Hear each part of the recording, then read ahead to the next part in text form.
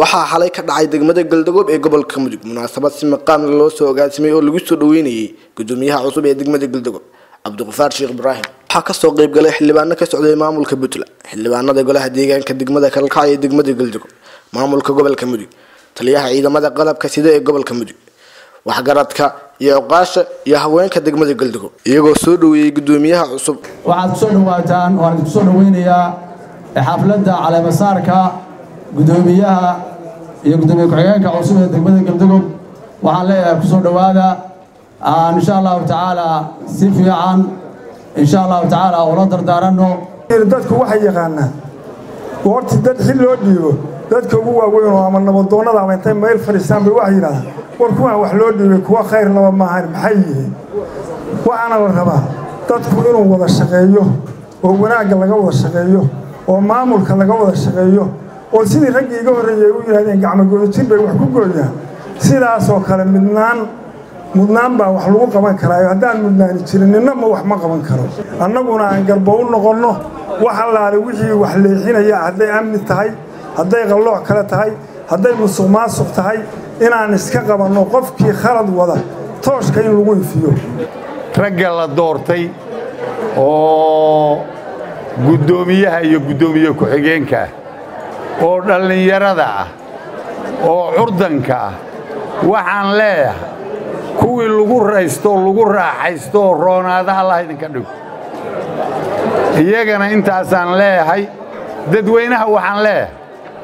War haddaan dhallinyarada lala shaqayn oo aan si fiican wax loola qaban waxba ma ay qaban karaane. Hadhow yaan la isxanaananin waxaa noo ballana shaqo iyo maamulka cusub la shaqayn qodobka labaadna waxaa noo ballana hawshii nabadgelyada ee gobolka mudug ee la waday inaan dhammaystirno dhammaanteen annagoo isku duuban annagoo kaashanayna hay'adaha amniga iyo madaxda gobolka iyo madaxda degmooyinka gobolka mudug muddo sannad iyo xoogaaya oo maamulka puntland hadda jiro waxaa lagu taamayey golaha deegaanka degmada galdagob in la dhiso. Dadkuna ay doortaan cidda ayagoo ay rabaan. Ilaahay mahaddi taas waa dhacday caawa waxaan joognaa xafladdii caleemasaarka guddoomiyaha iyo guddoomiye ku-xigeenka. Degmada galdagob waxaan marka leeyahay wax kasta oo dadku rabaan waa shaqaynaya. Maayaradii hore aad iyo aad bay u dadaaleen. Wax fiican oo muuqda oo la taaban karay qabteen. Da'da yar ee hadda soo kacdayna waxaan leenahay bartii ka sii bilaaba. Bulshada reer goldogobna waxaan leeyahay qofka haddaan baalo loo noqonin ma shaqayn karo. Maadaama ay doorasho galeen madaxda ay rabeenna ay doorteen. Waxaan leenahay marka koowaad golaha deegaanka iyo duqa iyo ku-xigeenkiisa cusub hambalyo hambalyo. Sidoo kale waxaan u hambalyaynaynaa dhammaan bulsho weynta degmada galdagob iyo deegaanada hoos yimaada. Ayagana sidoo kale maamulka cusub ay doorteen waan ugu hambalyaynaynaa. Dhaweeya guddoomiyaha cusub iyo guddoomiye ku-xigeenkiisa iyo golihiisa deegaanka. Waxaan rabaa idinkuna inaa idhahda soo dhowaada waxaan rabaa inaa idhahda hawl ballaaran baad hor taalla. Waxaan rabaa inaa idhahdo shaqo wanaagsan. Ugu horreyn anigu waxaan rabaa inaan uga mahad celinno shaqadii fiicneedii uu gobol degmada ka soo qabtay guddoomiyihii hore xilka baneeyey iyo ku-xigeenkiisu oo aan dhihi karno wuxuu ahaa qof abaal idinku lahaa haddaad tihiin reer galdagob waxaan sidoo kaleta soo dhoweeynaa guddoomiyaha cusub iyo ku-xigeenkiisa iyo konsolka oo runtii halkan ka ballan qaaday wax badan uusan qaadi karin waxaa munaasabada soo xiray gudoomiyaha degmada galdagob cabdiqafaar sheekh ibraahim isagoo caddeeyey qorshaha u degsan. Maamulkan lagu doortay hoggaankiisa haddii ilaahay idmo tiirar dhowr ah baan xoogga saari doonaa. Kow waxaa ka ahaan doona maamul wanaag. Maamul wanaaggu wuxuu aasaasu yahay horumarka nidaamka dawliga ah. Qodobka labaad ama tiirka labaad ee aan ku dadaali doonno xoogga saari doonno waxaa weeye amniga.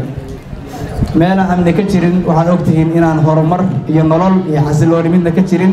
Sidaas awgeed waxaan dejin doonaa qorshe amni oo ay ku wada shaqayn doonaan guddiga amniga ee degmada ee xildhibaanku adaaytu uu ku dhawaaqay oo ay ka mid yihiin taliyaha booliska guddoomiyaha maxkamadda iyo maamulka degmada. Cabdiqani fu'aad fiqi cabdiqani xalliye warbaahinta s b c degmada galdagob aniguse waxaan isticmaalaa samtel isagu مو استعماله سمتيل. أنا قوين بدل ما سمتيل كوه اللي كراه بس هي سوق السدا ما سمين كرايا ورما هي رنمية ورنتي أفر اللي بعدين كيس عدد وحن كوه لا لبكون إيشان بقول أوشيلن هو بلاش بشي أردن وحن كوه لا شن دولار أو كلية عادي ما هو محل مرور يقول شيء قويلي فكر فكر فكر. بي سي.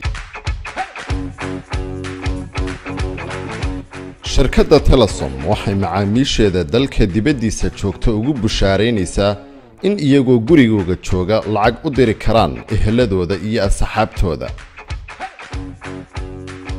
Abka bay c waxaad si fudud lacag ugu diri kartaa adigoo gurigaaga jooga. Loodiruhuna wuxuu ku helayaa saad ama akownkiisa daarasalaam bank